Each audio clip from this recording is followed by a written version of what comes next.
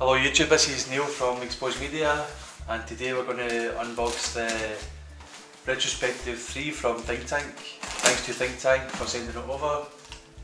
You can check out all their items at thinktank.com and let's have a look and see what we have.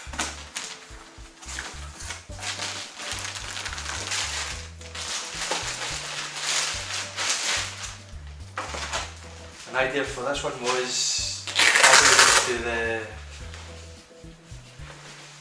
the rucksack type before, but nice to have a different type of bag.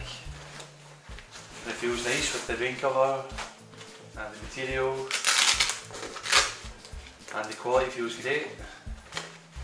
Nice big pockets for the lenses. A nice, nice strap, comfortable, well made also. And what do we have here? Think Tank stuff. I like the velcro pads where you can have the option of having the stick with one or two or none at all and also at the back we have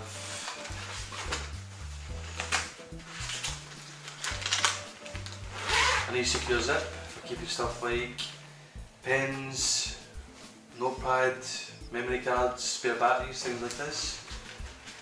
Overall seems like a good bag. Impressed with it, the quality is nice.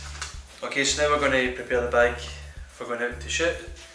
And as well I have two lenses at the moment, the other is on the camera. I'm going to use this for the camera here. And this lens will be here. And this lens will be here. I should keep it fairly nice and balanced in the middle.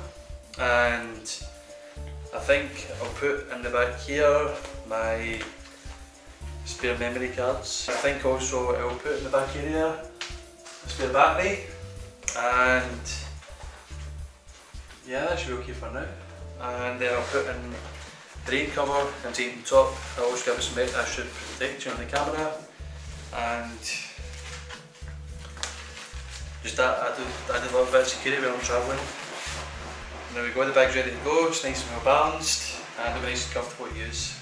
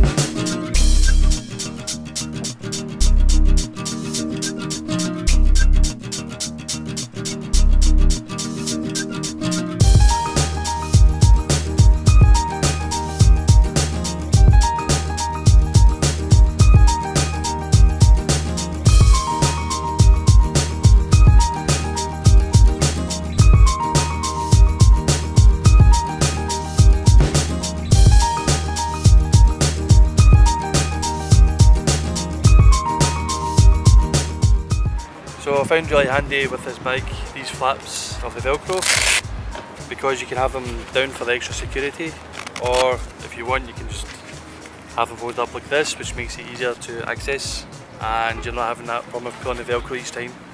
I found it really handy and I think it would be great for weddings and places you have to be quieter where you can just work with the bag and not have that noise of the velcro disturbing people.